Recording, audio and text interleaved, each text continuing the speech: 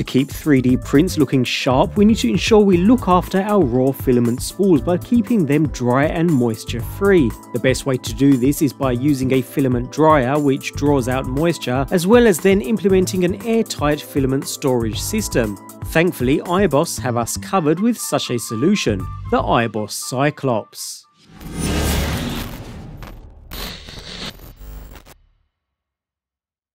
There's no special packaging with this system, so we get straight to the unit itself, which looks impressive upon initial inspection. As you may have guessed from the size, this is a twin spool system designed to hold two spools simultaneously, or a single higher capacity spool should you prefer. With an almost entire plastic construction, the concept here is rather simple. On the bottom of the unit, we find a central fan, so some fan noise will be heard here, although it'll most likely be quieter than the 3D printer that runs alongside it, so not really an issue. Otherwise, we have some rather tall feet that hold the unit up and away from the desk surface, providing the fan ample space to draw air in and through the unit. Right side up and sticking with the center, we have vents that cover the heating element that can be seen inside. So in essence, all that's happening here is the fan underneath is drawing air in, which passes by the heating element, hence heating the air and pushing it through these top vents. With the clear plastic lid securely on top, which just sits in position without any locking mechanism,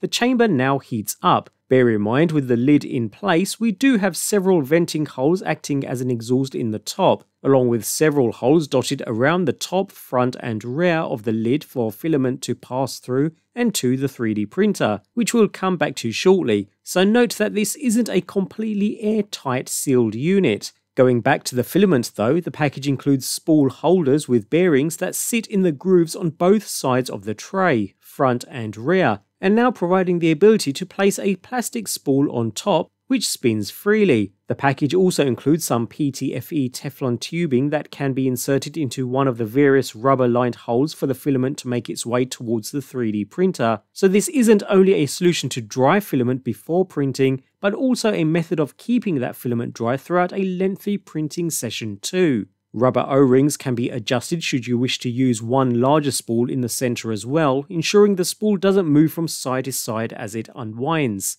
Saying that, swapping filaments can be a little frustrating though, considering it means winding the current spool back, then getting your hand in to feed new filament through the tube.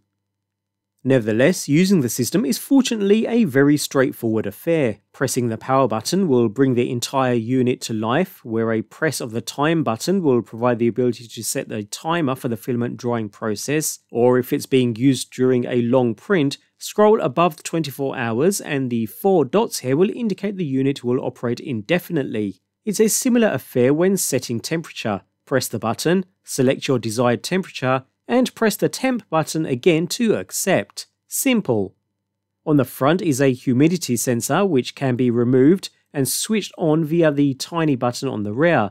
Note the second button, which seems to switch temperature settings, seems to be missing on my unit here. Not sure if that's intentional or not, but nevertheless, once it slides back into place, it is quite handy, displaying the current humidity level in the central chamber. There's one issue to be aware of though, which could be a deal breaker for some. As the hot air exhausted directly beneath the filament spools, that hot air is being blown directly onto the bottom of the spool, meaning the plastic at the bottom starts to become softer than the top, to the extent where some plastic strands can start to sag with loosely wound spools. That's potentially a big issue when it comes to 3D printing. Ideally, these hot air vents need to exhaust air around the sides, that way we heat the chamber more evenly without blowing directly on the plastic spool itself. Saying that, while printing the system works fine, considering the spool is continually moving and spinning, hence being heated more evenly.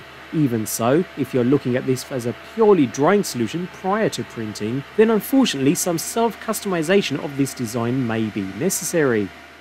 When it comes to storing filament outside of the dryer, Eibos have you covered there too with the Eurus storage solution. Again, no special packaging here, but in essence this small device is a mini vacuum, used alongside specific resealable storage bags. The Eurus itself is a small portable device with a threaded collar at one end and its power cable at the other, which has a USB plug at the end for power, meaning it can be used easily with a small power bank for instance, and a single power button in the middle for switching the unit on and off. The procedure itself is a simple one. Place the filament spool inside the resealable bag. I like to throw in a desiccant pack too. Use a supplied clip to create an airtight seal, after which we can release the cap to the built-in suction valve, screw on the vacuum pump to the top, easy thanks to that threaded collar, and with the USB connected to power, press the power button to begin sucking the air out of the bag.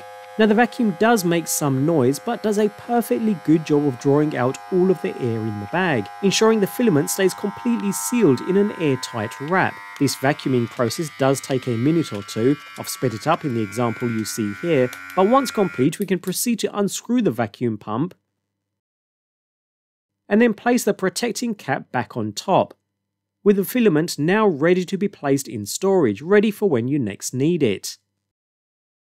All in all, the filament drying and storage system by Eibos works great. The Cyclops dryer works perfectly well when used while printing and with the spool moving that is. It's not something I'd be happy using with a static spool though, not without some customization and tweaking, due to the hot air blowing directly onto the plastic on one side rather than evenly across the chamber. Saying that, the Eurus vacuum and resealing bags work great, I've been using these for several weeks now and each bag has worked perfectly well in maintaining that airtight seal. No issues there at all. A good overall solution by Eibos, although with the Cyclops Dry needing a little more development depending upon how it's used.